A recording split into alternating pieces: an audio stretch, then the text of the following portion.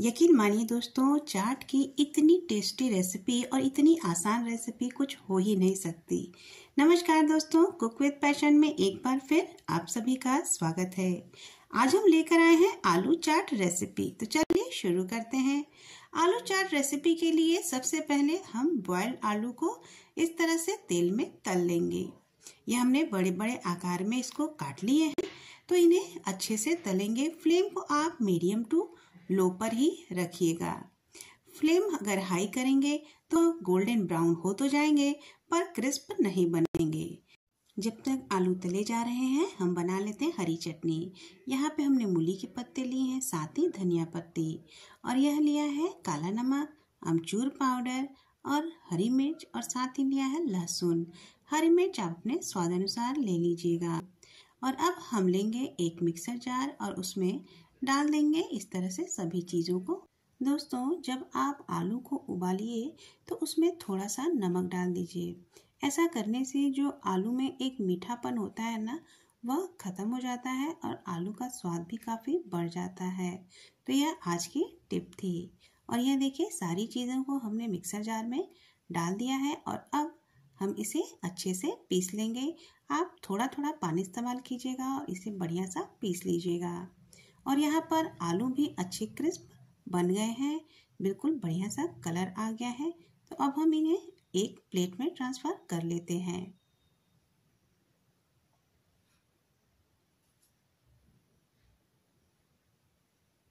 आलू कितने क्रिस्प बने हैं, यह आप इसकी आवाज़ सुनकर ही समझ सकते हैं। तो चलिए इसे हम प्लेट में ट्रांसफ़र कर लेते हैं। और अब हम लेंगे एक मिक्सिंग बाउल और इसमें आलूओं को डाल देंगे। और अब हम साथ में लेंगे हरी चटनी। यहाँ पर मैंने दो चम्मच हरी चटनी ली है, एक चम्मच चाट पाउडर,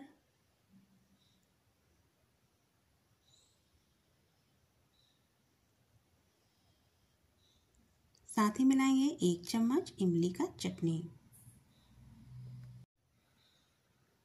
और यहाँ पे हमने कुछ कटी हुई हरी मिर्च ले ली है। अगर आप डालना चाहें तो डालें, अन्यथा यह टोटली ऑप्शनल है। और अब हम इन सबको कर लेंगे अच्छे से मिक्स और यह हो गए हैं मिक्स तो अब हम सर्विंग बाउल में आलूओं को निकाल लेते हैं।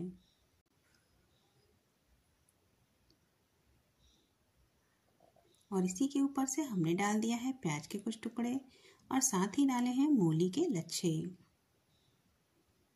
और अनार के दाने आप अपने मनपसंद तरीके से इसे सजा सकते हैं। और यह हमने हरी चटनी कुछ डाल दी है और इसी के साथ हम थोड़ी सी ऊपर से इमली की चटनी भी मिला देंगे।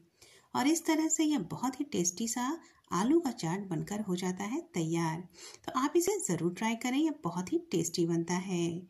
और मेरे दोस्तों, आपको हमारी रेसिपीज़ कैसी लग रही हैं? अच्छी लग रही हैं तो प्लीज़ हमारे चैनल को सब्सक्राइब कर लीजिए, बेल आइकन को प्रेस कर लीजिए। अगर वीडियोस अच्छे लग रहे हैं तो इन्हें लाइक और शेयर कीजिए। मिलते हैं नेक्स्ट वीडियो में एक नई रेसिपी के साथ। तब तक रखिए आप लोग अपना ख्याल। नमस्कार।